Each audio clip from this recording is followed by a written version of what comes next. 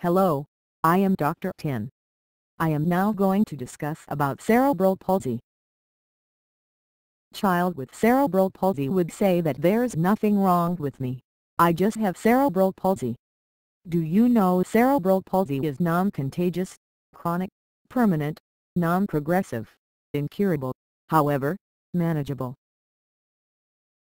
At the end of this lecture, the students should understand definition, causes, classification, and principles of management for cerebral palsy. Cerebral palsy is defined as a disorder of movement and posture, resulting from permanent non-progressive defect or lesion of an immature brain. Cerebral palsy can occur due to antenatal, perinatal, and postnatal causes. Antenatal causes include congenital malformation of the brain, intrauterine torch toxoplasma, rubella, cytomegalovirus and herpes simplex infections, radiation, trauma, drugs such as anti-epileptics, and antepartum hemorrhage causing fetal hypoxia.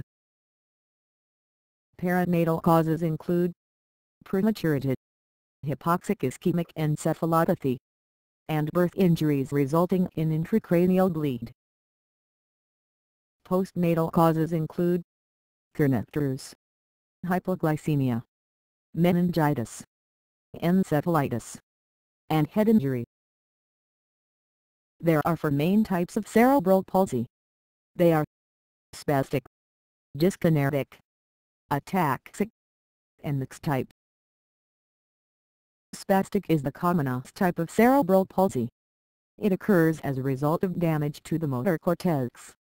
Patients with this type of cerebral palsy typically manifest signs of upper motor neuron lesion including increased tone, brisk deep tendon reflexes, ankle clonus, and extensor plantar response.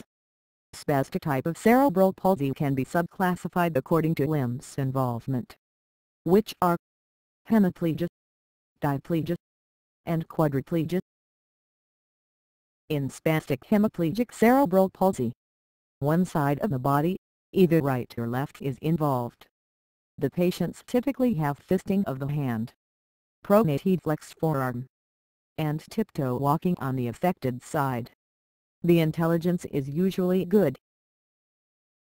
In spastic diplegic cerebral palsy, all four limbs are involved.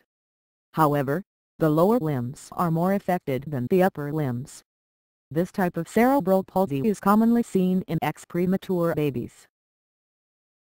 In spastic quadriplegic cerebral palsy, all four limbs are equally involved. It is the worst type and associated with mental retardation, seizures, swallowing difficulties secondary to pseudobulbar palsy, and global developmental delay. Dyskinetic cerebral palsy occurs due to damage to basal ganglia, such as in bilirubin encephalopathy or kernicterus. It is characterized by dystonia and involuntary movements, such as athetoid or chorea. Dystonia is involuntary sustained muscle contractions resulting in twisting and repetitive movements or abnormal postures. Please watch the video on dystonia. Athetoid is slow, involuntary, writhing movements which mainly affect the fingers, hands, toes, and feet. Please see a video on athetoid. Chorea is abrupt, irregular, jerky involuntary movements of limbs and face. Please watch the video on chorea. In this type of cerebral palsy, the intelligence is relatively unimpaired. Ataxic cerebral palsy occurs due to damage in cerebellar area. Initially the patients usually present with hypotonia. Cerebellar signs typically manifest later. They include nystagmus, slurred speech, intention tremor, past pointing in finger nose test, dysdiadochokinesis, and ataxic gait. Please watch the video on a child with ataxic cerebral palsy. This is summarized picture of the various types of cerebral palsy and the corresponding areas of brain involved. Cerebral palsy should be considered if there is abnormal tone and posture in early infancy, persistence of primitive reflexes such as Moro reflex, delayed motor milestones, abnormal gait, developmental delay in language and social skills, hand preference in those less than 12 months old as this can be a sign of hemiplegic cerebral palsy. Feeding difficulties such as oromotor incoordination, slow feeding and vomiting. Diagnosis of cerebral palsy is based mainly on clinical features that I've mentioned earlier. So taking a careful history and performing a detailed clinical examination are the most important steps in establishing the diagnosis. There are no definitive laboratory studies for diagnosing cerebral palsy. The blood tests are done as deemed necessary based on clinical examination. The investigations that can be considered are thyroid function test, metabolic and genetic studies. Neuroimaging studies can help to evaluate brain damage and identify babies who are at risk of developing cerebral palsy. Ultrasonography can delineate gross structural abnormalities and show evidence of hemorrhage or hypoxic ischemic injury. Computed tomography scanning of the brain helps to identify congenital malformations, intracranial hemorrhage, and periventricular leukomalacia more clearly than ultrasonography. But its use is associated with significant exposure to radiation. Magnetic resonance imaging of the brain is the diagnostic neuroimaging study of choice and should be considered in all cases. It defines cortical, white matter structures and abnormalities more clearly than any other modalities of imaging. We could do some investigations to detect some of the underlying pathologies and complications. They are ultrasound of head in preterm infants for intraventricular hemorrhage, MRI brain for white matter lesions. Metabolic studies may reveal inherited metabolic disorders. Genetic studies may be indicated to rule out a genetic syndrome, if dysmorphic features or abnormalities of various organ systems are present. Coagulation studies are done in case with unexplained cerebral infarction seen in neuroimaging, and EEG which is important in the diagnosis of associated seizure disorders. This is an image from a brain ultrasound in a baby with grade 3 intraventricular hemorrhage. The left ventricle is dilated and filled with blood as shown with the white arrow. This is a magnetic resonance image brain of a child with spastic quadriplegic cerebral palsy with more prominent right-sided deficits.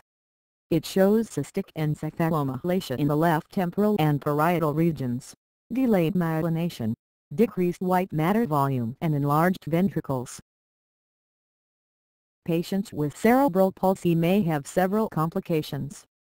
These include neurological complications such as mental retardation, epilepsy, visual and hearing impairment, musculoskeletal complications such as contractures, scoliosis, hip dislocation and bedsores, respiratory complications such as aspiration pneumonia, and gastrointestinal complications such as failure to thrive, feeding intolerance, gastroesophageal reflux and constipation. The aims in the management of patients with cerebral palsy are for them to lead as near normal life as possible and to have independent life as much as possible. So it is important to counsel the parents regarding the diagnosis, prognosis and plan of management. In essence, multidisciplinary team approach is the mainstay of management. In this multidisciplinary approach, pediatrician plays the key role is in identifying complications as mentioned before, and in coordinating the referrals to the respective disciplines.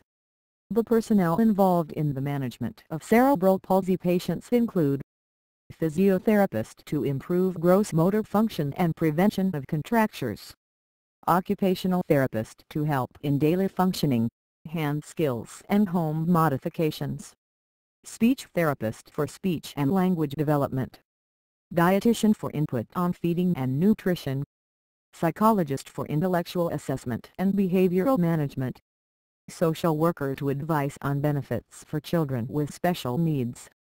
ophthalmologist for eye problems such as strabismus, cataracts and refractive issues. ENT and audiologist for hearing assessment and management. Surgeon for PEG tube insertion in cases with feeding difficulties. Orthopedic surgeon for tenotomy or tendon lengthening and contractures. Neurologist for epilepsy management. And dentist for dental management. Patients with cerebral palsy may also have other problems that need to be addressed. For example, spasticity of limbs is treated with baclofen, a GABA agonist, and intramuscular injection of botulinum toxin, which is an exotoxin produced by Clostridium botulinum that prevents release with acetylcholine at the neuromuscular junction. Dystonia, which is a feature of patients with dyskinetic cerebral palsy, may also respond to baclofen. Constipation is managed with diet rich in fiber and stool softeners such as syrup lactulose. Patients with gastroesophageal reflux disease may respond to thickening of the feeds, such as using the anti-reflux formula. The Administration of proton pump inhibitors such as omeprazole is effective in reducing the acidity of the gastric content and improving erosive esophagitis. In summary, Cerebral palsy is a chronic, non-progressive, disorder of movement and posture. Careful history-taking and physical examination are the most important tools in establishing the diagnosis. The key management is multidisciplinary team approach.